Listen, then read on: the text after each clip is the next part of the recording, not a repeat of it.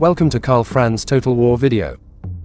Today I'm going to do a video about two-hander units in Medieval 2. As we all know before, two-hander units in the original campaign is regarded as weak unit, even can't match the mid-tier dismounted knight, thus negating their cost effectiveness. The main reason to this is due to their slow animations when attacking, so the one-hander swordsmen can easily get the better of them, if we're looking back in the day when Kingdoms expansion are introduced, there are many that claims two-hander units are finally fixed. The question is, is this really the case? In this video, I did some test between the original and one of Kingdom's campaign, to see how the two-hander unit performs against the one-hander. Now, the first battle will be tested in original campaign. We are going to pit Forlorn Hope against Dismounted Feudal Knight. You will notice that dismounted feudal knight have a higher attack and ridiculously high armor value despite their recruitment cost. Previously, I have made a video about how units formations are actually matter and more important than units raw status.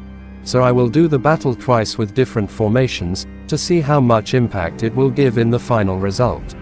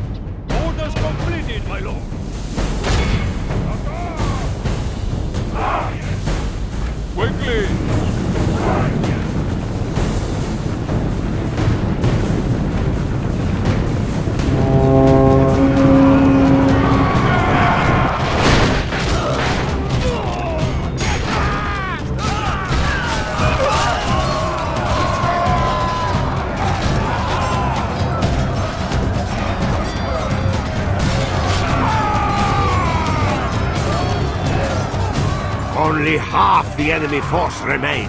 The battle is in our favor. If we remain true and wholehearted, victory will be ours.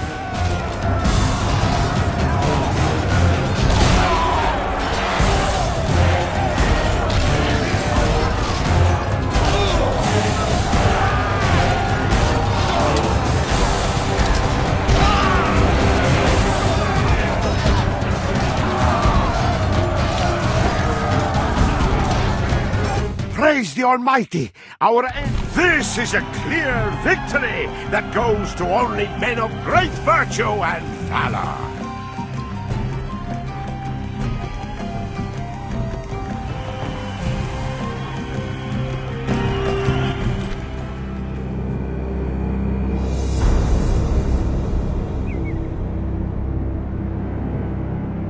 Units! Await my orders!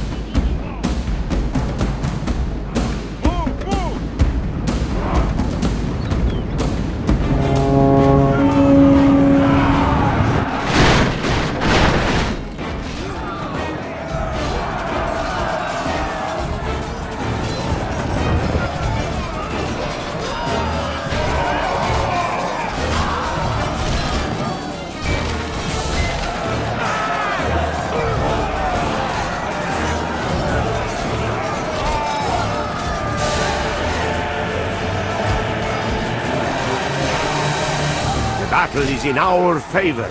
If we remain true and wholehearted, victory will be ours. Lord protect us. Our general lies slain upon the battlefield.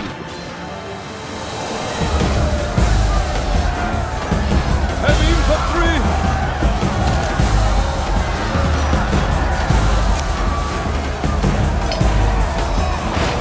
Only half the enemy force remains.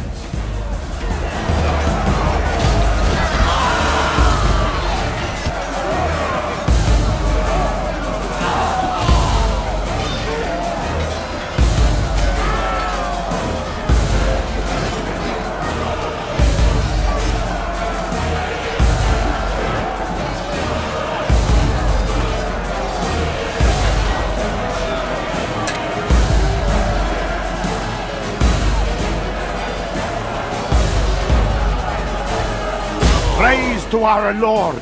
Our men have slain the enemy general. Now his men will lose heart.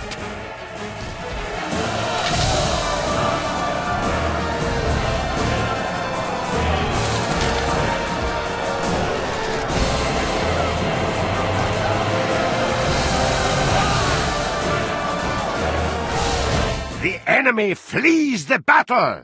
Thank God in heaven. We are victorious. Our soldiers have fought and died.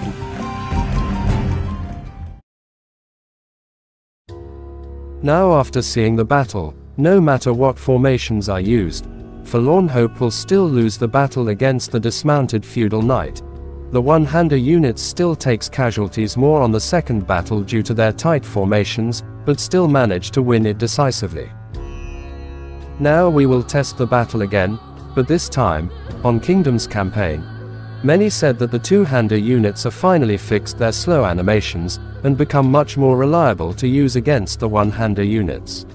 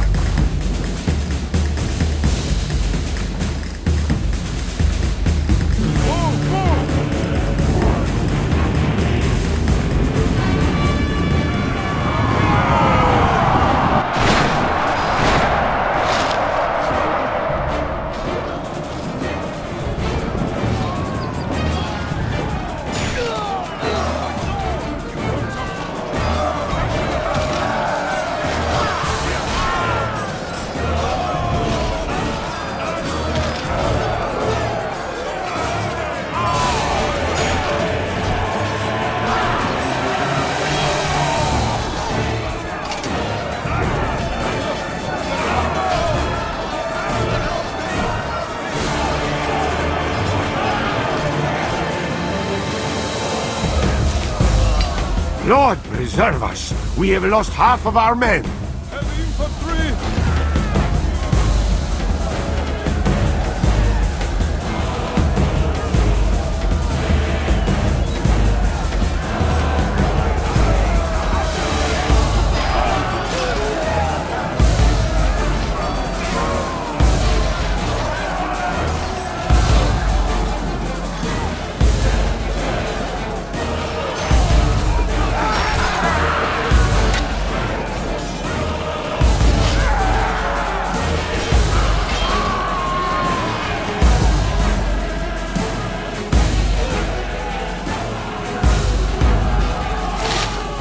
Enemy are badly blooded. They have lost half their men. My lord, the tide of battle seems to have turned against us. We must act and halt this turn of events.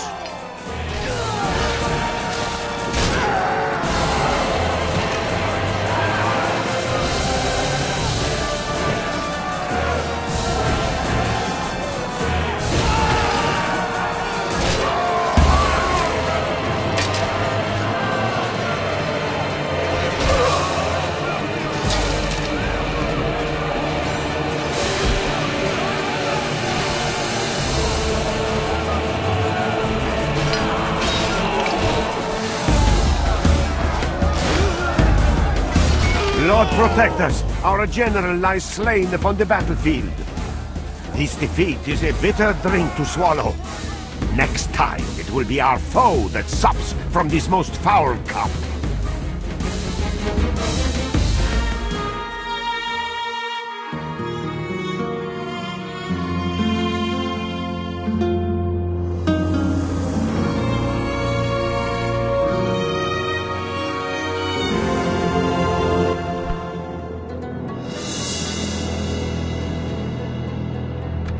Units! Await my orders!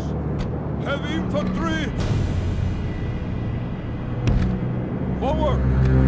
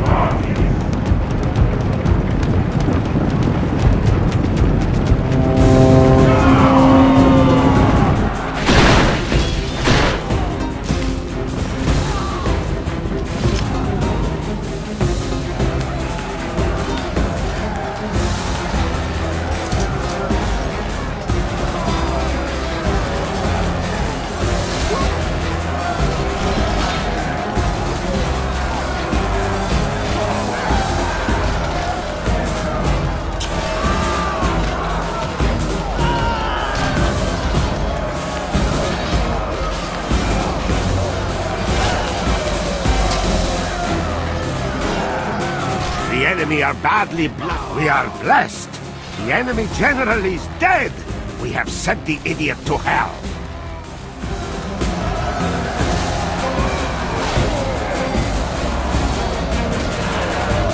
Lord preserve us. We have lost half of our men. It is unwise to praise the day before sunset, but our men are winning the battle and forging a worthy victory. The enemy flees the battle! Run! This is a clear victory that goes to only men of great virtue and valor!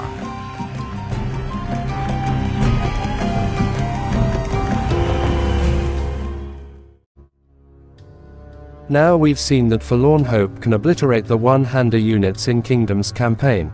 Although they still can be outmatched with the Streck formations, the dismounted Feudal Knight also suffer heavy losses, reduced into half of their initial unit size. Now since I'm testing it on mobile, I can't confirm if it had any difference with the one on PC. Personally, after watching the two-hander unit's performance on both battle, I think there is no change with the attacking animation speed. If you noticed, the one-hander unit's stats are actually nerfed in Kingdoms, while the two-hander is buffed significantly. We can see the dismounted feudal knight status in original campaign are far superior than in Kingdom's campaign, while the two-hander units are the opposite. These changes are made so that the two-hander units can be used as intended.